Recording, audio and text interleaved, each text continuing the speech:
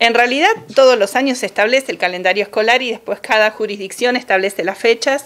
En el caso de Río Negro es el 3 de marzo, así que bueno, para nosotros no es un, digamos, un asombro que haya fechas. Obviamente lo que siempre decimos que al momento que se dé el comienzo tienen que estar dadas las garantías, lo mismo que estamos pidiendo ahora, tanto eh, sanitarias, epidemiológicas, como también las condiciones eh, en las escuelas de personal, de higiene, de seguridad. Así que, pero la fecha no nos sorprendió, porque obviamente siempre hay que establecer un calendario para, para el inicio.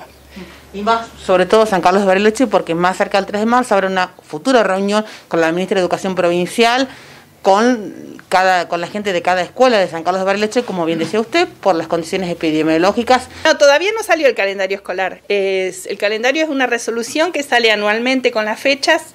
Lo que pasa que, por ejemplo, el calendario de este año se tuvo que modificar, hubo, hubieron un montón de resoluciones con cambios debido al, al contexto y a la pandemia.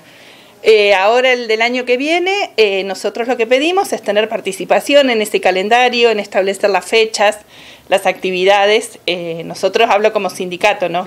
Obviamente desde las seccionales llevamos los posicionamientos, quien negocia es la UNTER Central. Recordemos, 3 de marzo en establecimientos públicos y privados. En Río Negro, en Río Negro es esa fecha, pero te vuelvo a repetir, va a depender de las condiciones porque mm, en principio hay que respetar los protocolos en cuanto a, cómo hay que distribuir los espacios, los elementos que tiene que haber de seguridad, el personal. Y bueno, la verdad que nosotros nos preocupa muchísimo porque ya este año que estuvimos en pleno brote y estamos, nuestros compañeros y compañeras han ido a las escuelas sin siquiera tener personal de limpieza. Han tenido que hacer los equipos directivos la limpieza.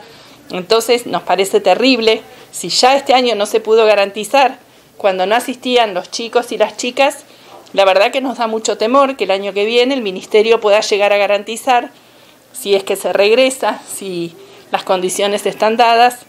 Eh, no sabemos cómo van a estar las condiciones para poder trabajar presencialmente.